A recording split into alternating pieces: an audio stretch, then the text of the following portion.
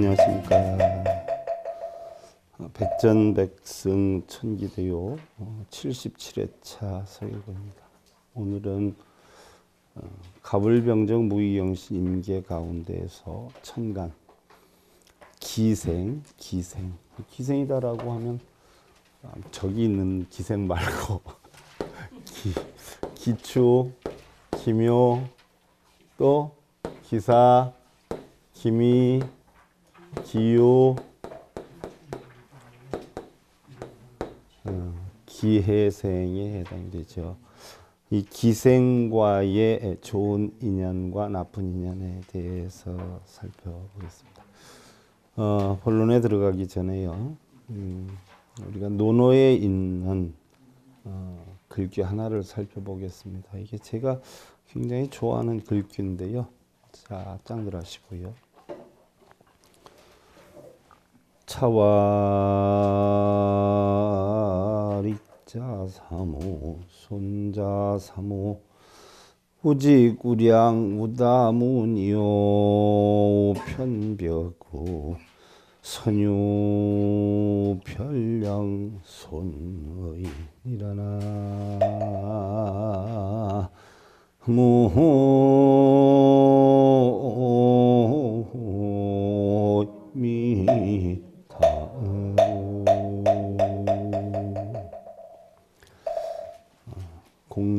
공자께서 이르시기를 음, 유익한 벗이 셋이요 해로운 벗이 셋이니 정직하고 성실하고 박학 다식한 자를 벗하면 유익하고 아첨하고 불성실하고 말 둘러대기를 잘하는 사람과 벗을 하면 해로운이라라고 했어요.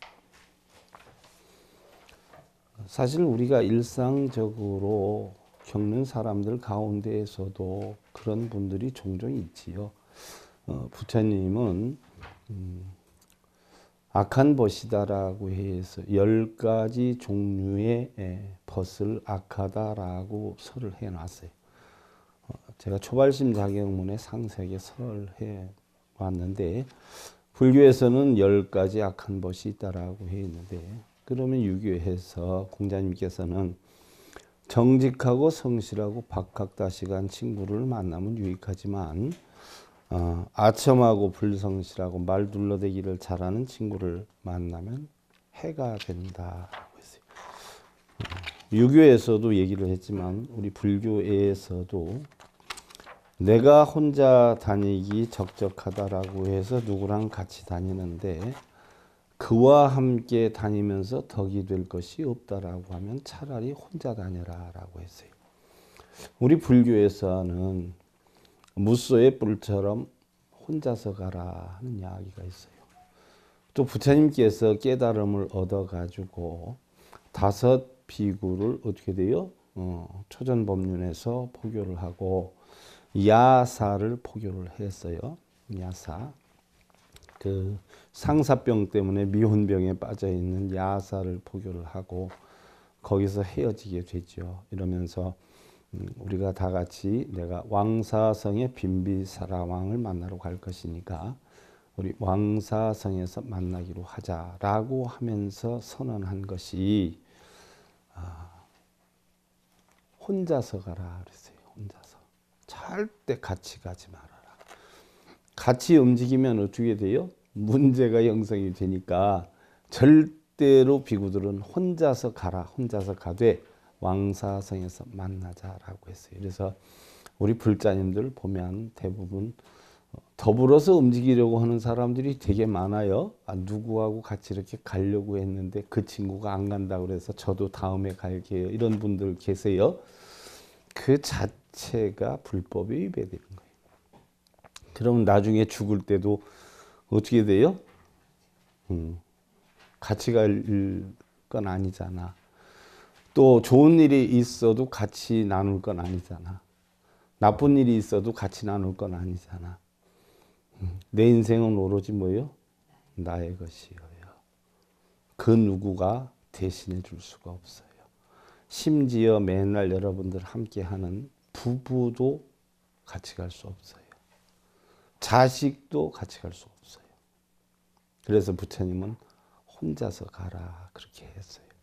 설령 어울린다라고 하면 바로 공자님께서 말씀하셨듯이 성실하고 정직하고 박학다식한 이런 친구를 사귀다 보면 음, 좋은 점이 형성이 되지만 그렇지 않으면 해로움이 형성이 된다.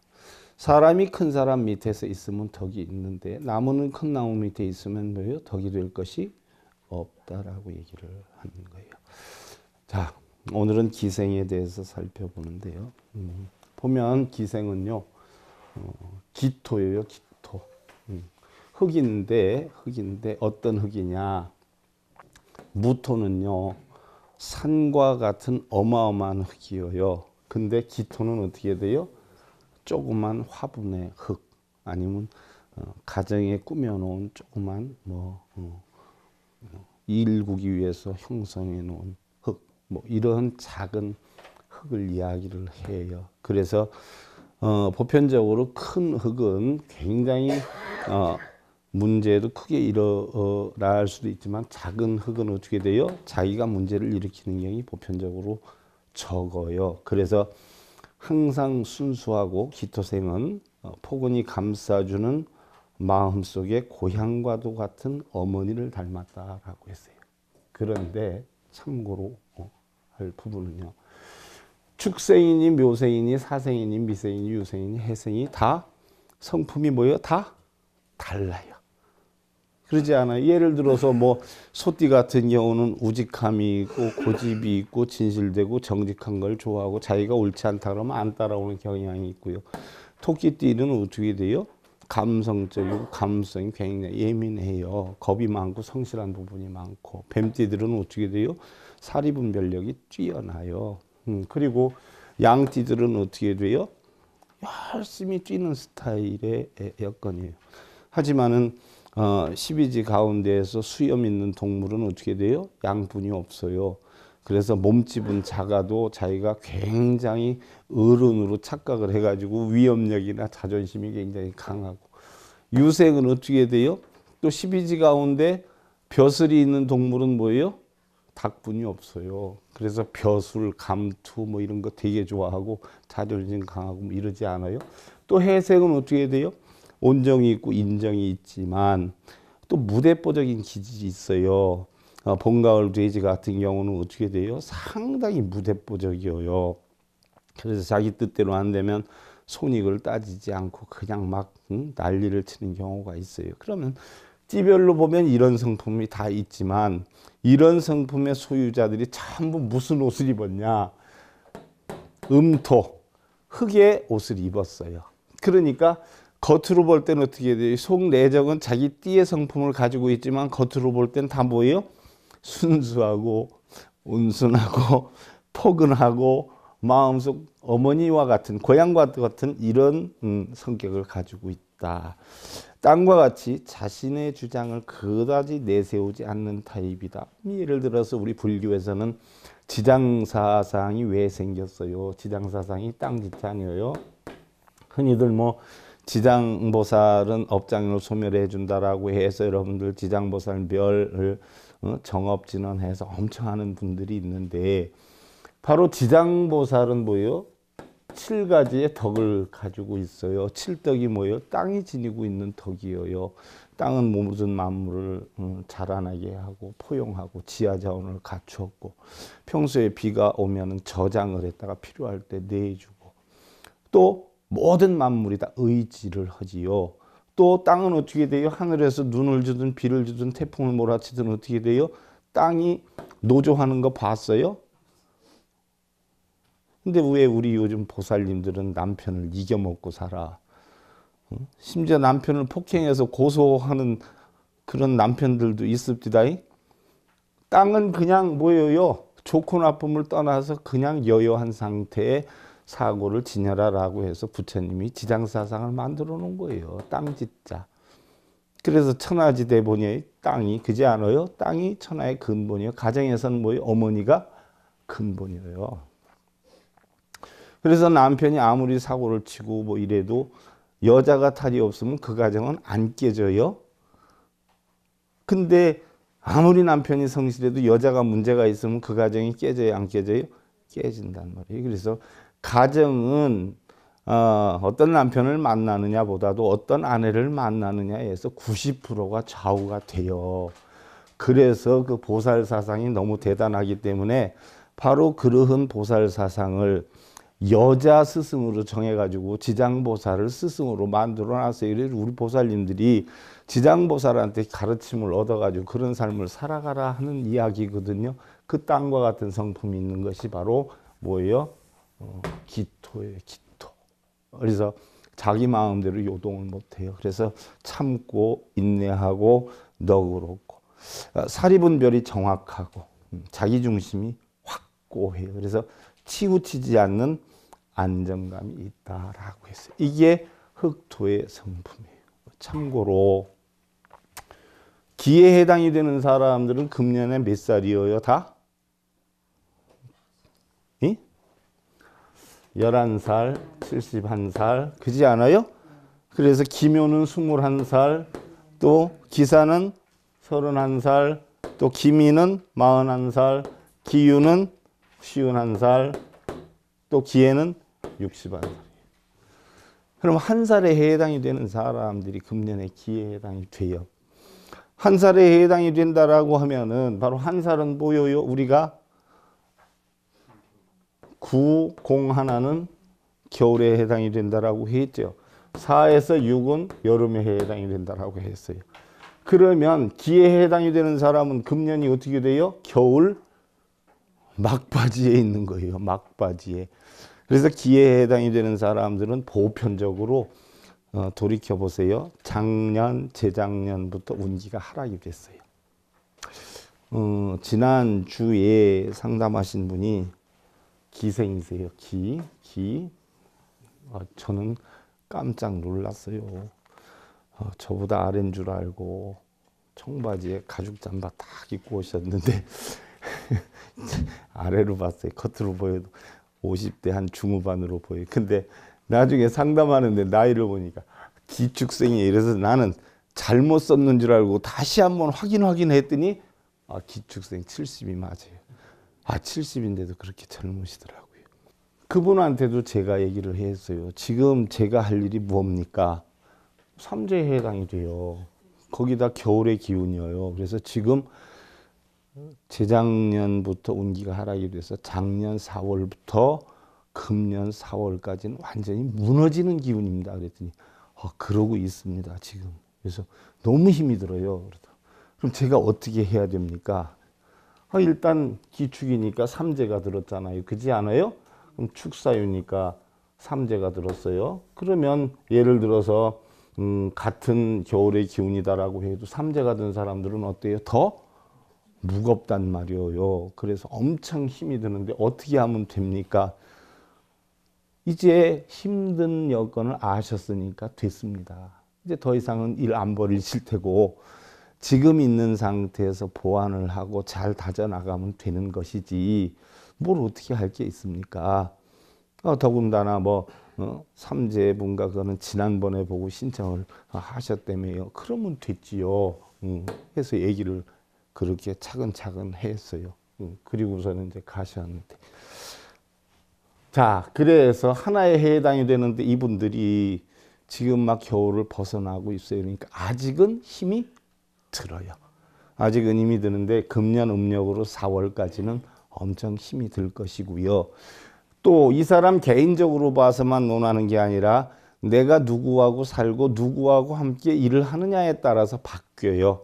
인연이 합이 들면 좀 덜 할 테고 인연이 극이 되면 더 심할 테고 그러면 요 중에서도 바로 축사유에 해당이 되는 사람들은 삼재 기운은 작년에 나갔지만 올해 10월까지는 아직 미진이 남아 있어요. 여진이.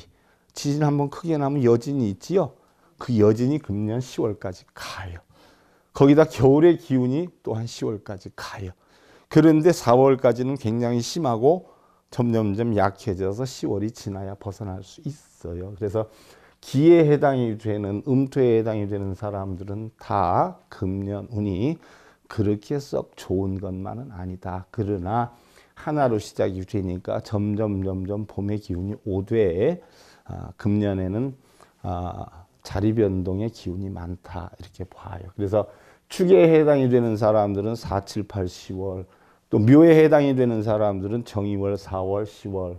어, 4 해당이 되는 4, 7, 80, 미 4, 7, 80 유생은 5월, 7월, 9월, 10월에 오고 해생은 1, 2월, 4월, 10월에 자리 변동이 온다. 그러나 자리 변동을 해도 아직까지 겨울의 기운과 삼재 기운이 남아 있으니까 따뜻한 봄이 지나면서 살살 움직이는 것이 괜찮다 이렇게 봅니다. 그래서 기생 가운데의 기축생은요 청순하고 인정이 있어 보이지만 기에 해당이 되어 강한 의지와 폭발적인 성품이 내재되어 있다. 이건 소띠의 기질이에요. 실천력이 다소 부족하나 왜 주인에 의해서 움직이기 때문에 그래요. 모든 면에서 남보다 앞서려는 야망과 적극적이고 이기적인 위세를 가지고 있고 목표가 설정되면 돌진하는 그런 저력과 책임감, 개척적인 정신은 천부적인 성격을 가지고 태어났다. 김효생 어, 성실하고 의협심과 인정이 많은데 어, 보편적으로 이 음토생들이 성실해요. 온순하고 겉으로 볼 땐 감정을 잘 나타내지 않고 침착하다. 겉으로는 약해 보이지만 마음 한쪽으로는 욕망과 집념이 있고 민첩한 행동과 뛰어난 지모가 있다. 온순 정직하고 사리에 밝다. 상하의 신망과 존경을 받는데 분에 넘치는 명예욕이나 재물욕에선 벗어나야 된다. 기사생 책임감이 강해서 홀로 개척해야 하는 문제가 있긴 하지만 용모가 바르고 성격 또한 온순하다. 주위에 많은 사람이 모이나 보수적이기에 깊은 속마음을 알아내기가 어렵다. 자, 기에 해당이 되는 사람들은 겉으로는 다 온순해요. 착해요. 음, 근데 자기 태생의 기운이 합세가 되면서 다른 기운이 형성이 또 돼요. 한 가지 일에 몰두하지 않고 실증을 느껴서 개혁을 잘하는 편이다. 변화가 많다는 이야기죠. 김희생 청렴결백한 성격의 소유자다. 정의감과 낭만도 있다. 야망을 가지고 노력을 하지만 약한 성격의 일면도 있어서 융통성과 지구력이 없는 것이 결점이다. 어, 매사를 자기 주관대로 하려고 하다 보면 어, 조금 리더가 되기 어렵다. 기후생. 음. 진실을 너무나 존중함으로 통상적인 인습이나 허례, 허식을 싫어하고 인간의 허위나 거짓에 대해서는 일도 양단, 칼로 베어버리는 성격을 가지고 있다. 친절하고 상대방의 의사를 존중하고 누구에게나 우정을 나눠주는 편인데 비교적 섬세한 면이 부족하고 침착하지 못하고 자기 주장을 굽히지 않는 고집이 있다. 또 이거 보다가 또 댓글로 아이 저는 안 그런데요. 또 이런 댓글 또 남겨놓는 분들이 있어요. 다 그런 건 아니요. 보편적으로 이렇다는 이야기지. 이걸 가지고 또 꼭 뭐 콩이니 파치니 따져. 남들이 볼 땐 그럴 수 있어요. 자기가 볼 땐 몰라도 뭘 아니요 아니긴. 그다음에 이제 기회생. 음. 강인하고 용기가 있고 진취적이고 백전불굴의 의지를 지니고 있다. 부드럽고 포근하고 헌신적인 애정을 베푸는 따뜻하고 여린 심성을 부여받았는데 성질이나 언행이 배타적이고 감정적인 갈등으로 인해 상처를 받기 기분이 안 좋으면 좀처럼 마음의 문을 열지 않는 성미를 가지고 있다. 이게 돼지띠의 특성이에요. 그냥 마음에 안 들면 받아버리는 거. 음.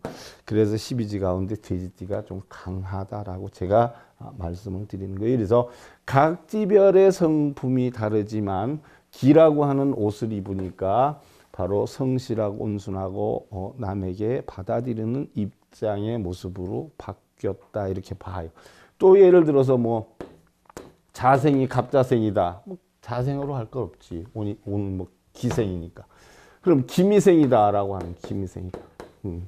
그럼 김희생이다라고 하면 김희생이 예를 들어서 정월생이다 그럼 뭐예요? 인월에 해당이 되고 이월생이다 그러면 묘월에 해당이 돼요. 그러면 김이가 인을 만나. 인을 만나는데 무슨 인을 만나느냐에 따라서 또 바뀌어요.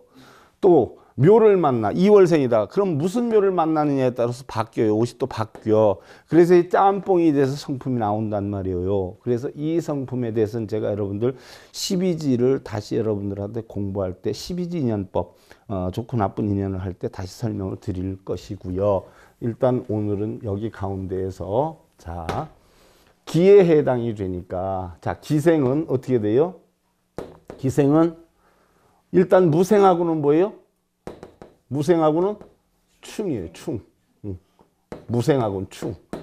그러면 기생이 내가 도움을 가장 받을 수 있는 인연은 누구예요? 바로 병생과 정생이에요. 병생과 정생 가운데서도 정생은 음이니까 음충 음이 될 수 있어요. 그래서 바로 양합음이라 해가지고 병정생보다도 뭐예요? 병생한테 더 큰 도움을 얻을 수 있고 정생도 괜찮다는 이야기예요. 정생도 예를 들어서 한 8, 90% 도움을 얻으면 병생은 90%에서 거의 99%까지 얻을 수 있는 역량이다. 그래서 바로 나에게 도움을 주는 게 합이 들어서 나에게 도움을 주는 게 병과 정생이고 그럼 내가 도움을 줄 수 있는 태생은 바로 뭐예요? 이 중에서도 내가 음이니까 기가 음이니까 양한테 더 도움을 주고 음한테는 조금 뭐예요? 덜 줄 수 있어요. 그래서 내가 도움을 주는 합이 들어서 내가 도움을 주는 태생이 경과 신생이라는 얘기예요. 그래서 기생은 병생과 정생한테 도움을 받고 받고 또 기생은 어떻게 돼요? 어, 바로 경과 신생한테 도움을 주는 그런 여건이 된다라는 이야기. 물론 12지에서 다시 배우겠지만 명리학에서 얘기하는 육합이나 뭐 삼합이나 이런 거하고 우리가 지금 하고 있는 거하고 180도 달라요. 근데 이거를 명리학적으로 인용해서 이렇게 해서 뭐 나 책이 많은데 이거하고 비슷하니 어쩌느니 이거는 수박 겉핥기여요. 어, 수박 속이 얼마나 이건지 껍데기 보고는 모르죠. 어, 비슷한 것 같지만 내용은 99%가 달라요. 명리학하고. 또 어떤 분들은 아이고 스님 우리 명리학 배울 때 이러지 않았는데요. 당연히 이러지 않았죠. 당연히 다르죠.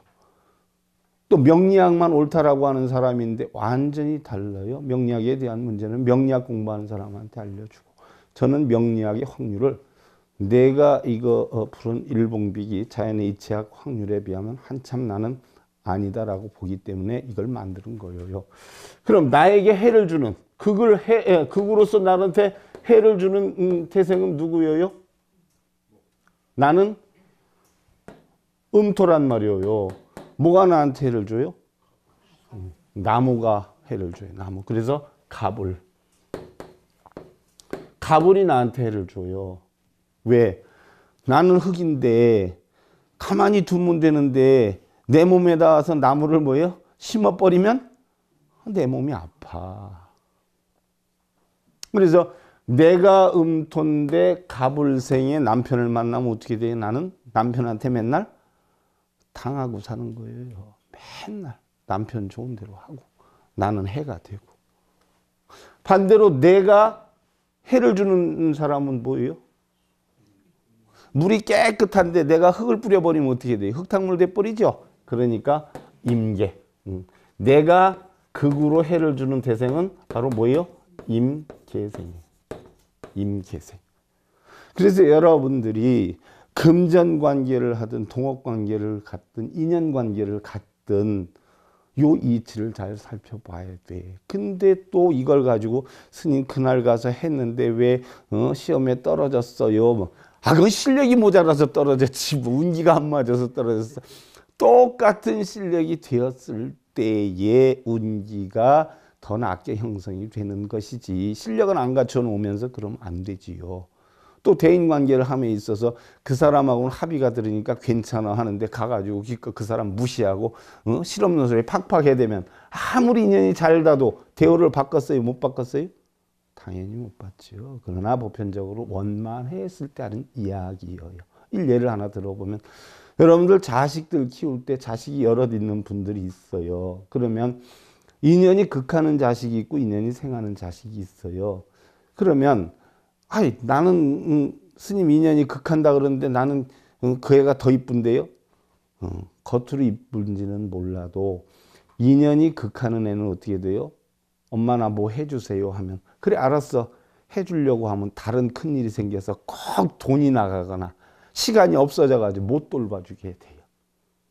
근데 인연이 합하게 되는 애기는 뭐예요? 생전 돈이 없다가도 어디서 갑자기 뚝딱 돈이 생겼는데 그때 엄마 뭐 해주세요 그럼 왕창 써지게 돼요. 이게 합이야.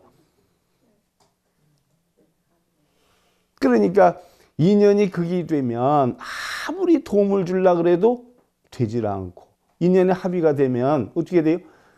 다음에 아무리 해주려 그래도 꼭 그때만 되면 뭐가 생겨? 내 형제가 아닌 피줄이 아닌 다른 사람하고 겪어봐도 내 여러분들 뭐 가까이 사는 이웃이 멀리 있는 친척보다 낫다라고 하는데 어떤 분들은 친척이 피가 섞였으니까 더 가까워야 되는데 그 친척하고 인연의 극이 되면 하는 모습이 다 미워 보여. 밥 먹는 것도 미워 보이고 말하는 것도 미워 보이고. 어쩌다 한마디 나한테 고맙다고 인사하는데 하는데도 아이고 어떻게 말을 저따구로 하냐? 꼭 이런 식으로 하고. 근데 인연의 합이 들면 아무리 처음 보는 사람이라도 어, 그 사람 되게 센스 있네. 되게 말 잘하네. 그럼 나한테 말 잘하고 센스 잘 있다라고 해서 다른 사람한테도 센스 있고 말을 잘하느냐? 아니에요. 또 다른 인연에 극하는 사람이 보면 어떻게 말을 또 쳤다고 하냐? 이렇게 할 수가 있어요. 그러니까 내가 좋다라고 해서 다 좋은 사람이 아니고 다른 사람이 나쁘다 해서 다 나쁜 사람이 아니라는 거예요. 이런 것들은 여러분들이 세상 살면서 겪어보면 피부로 분명히 느껴지게 돼요. 그리고 참고로 자 여기에서 여러분들 음, 기축생, 기묘생, 뭐 기사생 이렇게 많이 있어요. 그러면 명리학에서 어떻게 따지느냐? 뭐 예를 들어서 여기에서 지금 결혼 가장 정년기의 생이 무슨 생이에요? 가장 결혼 정년기의 생이 한번 살펴봐. 예? 기사생이에요. 그럼 기사생은 어떻게 돼요? 명리학에서 여러분들 따져볼 때 명리학에서 따져볼 때 기사생은 대림목이에요. 대림목. 나무에 해당이 돼요. 그럼 우리가 예를 들어서 기사생 하면 천간으로는 뭐예요? 음토고 지지로 놓고 보면 인모사 화가 해당이 된단 말이에요. 응? 음화. 근데 기사라고 하면 어떻게 돼요? 이게 명리학에서는 대림목에 해당이 돼요. 그럼 기사생이다라고 하면 대림목에 해당이 되면 명리학으로 보면 이 사람은 누구를 만나면 좋아요? 자, 우리가 일단 어, 오행육갑으로 따져 보잔 말이에요. 그러면 자기가 목이니까 기사 목이니까 수에 해당이 되는 사람을 만나거나 그러지 않아요? 화에 해당이 되는 사람을 만나면 좋다 그래요. 그러면 명리학으로 수에 해당이 되는 사람 만나면 나한테 도움을 주는 사람이고 화에 해당이 되는 사람 만나면 내가 도움을 줘야 되는 사람인데 그럼 기사생이 예를 들어서 음, 여자일 경우와 남자일 경우가 다르겠죠. 여자일 경우에는 뭐예요? 어, 수에 해당이 되는 사람 만나면 좋겠고 남자일 경우에는 어떻게 돼요? 화에 해당이 되는 사람 만나면 좋겠고 뭐 이렇게 따져가잖아요. 대충. 그러면 예를 들어서 기사생이 대림목인데 그러면 한 살 어린 사람 보자고요. 한 살 어린 사람. 한 살 어린 사람. 경호생이에요. 경호신미예요. 한 살, 두 살 어린 사람.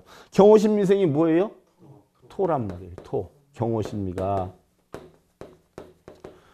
또 하나 더 내려가면 뭐예요? 임신계유란 말이에요. 임신. 임신계유. 그럼 임신계유는 뭐에 해당이 돼요? 금에 해당이 돼요. 금. 건봉금이란 말이에요. 그 다음 또 한두 살 더 내려가면 또 누가 있어요? 경호심 임신계유 갑술 의뢰란 말이에요. 갑술 의뢰. 갑술 의뢰생이 그러면 뭐예요? 어, 무슨 화예요? 산두화. 산 꼭대기에 있는 화예요. 음.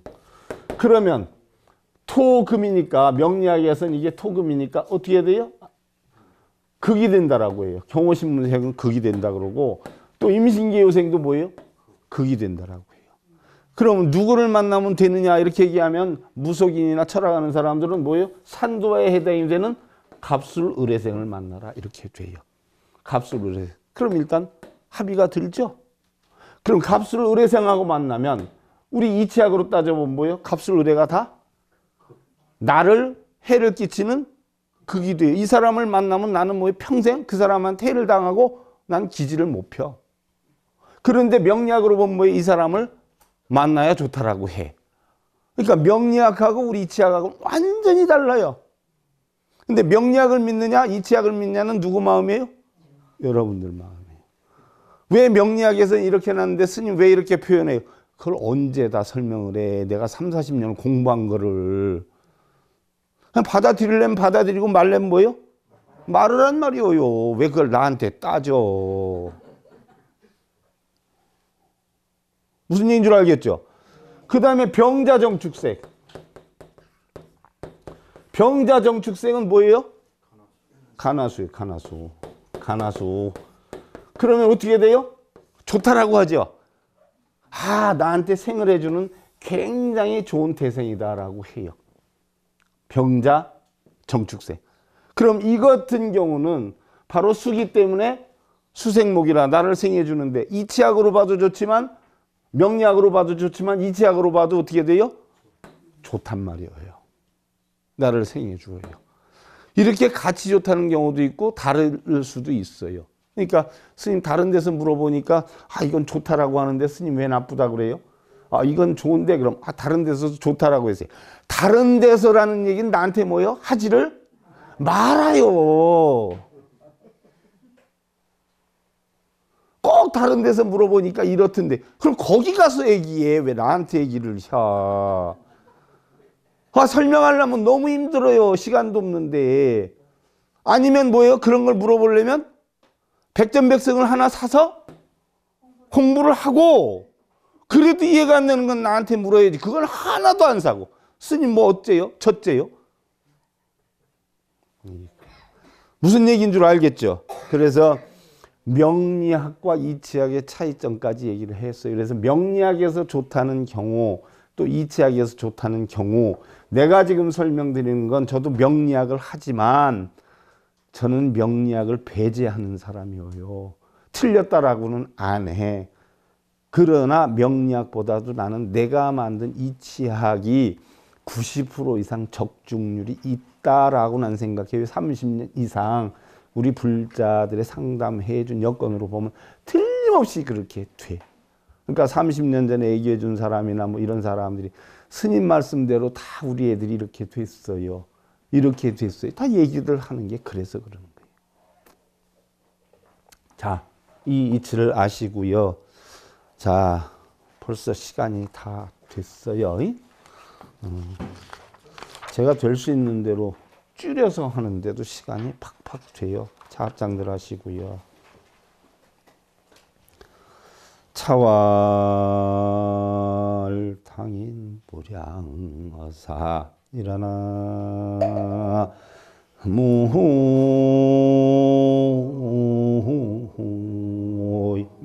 무미타 좋은 일을 하거나 인덕을 베풀 때에는 스승이나 부모에게도 양보를 하지 말아라 하는 이야기. 무슨 얘기인 줄 알겠어요? 내가 좋은 일을 할 때는 어느 누구에도 양보를 하지 말고 해라. 그런 것이 보이지 않는 가운데 다 인연과의 이치에 의해서 돌아오기도 하겠지만 또 돌아온다라고 하는 생각을 떠나서 산다라고 해도 결국은 그러한 이치는 돌아와서 나의 삶의 앞길이 환하게 열릴 수 있다. 여러분들 그런 삶 기원 드리면서요.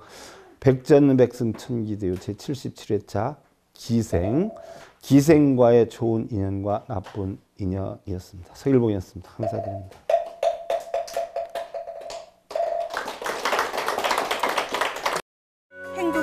증검다리에 서글봉 스님이 여러분들을 초대합니다. SIB 불교교육대학에서는 더 듣다. 생활 속의 천수경. 달마대사 성관법. 현대생활 불교 법요지. 불교학 개론. 성철스님 백일 법문 등을 비롯한 다른 불법, 다른 진리. 서글봉 스님의 SIB 불교교육대학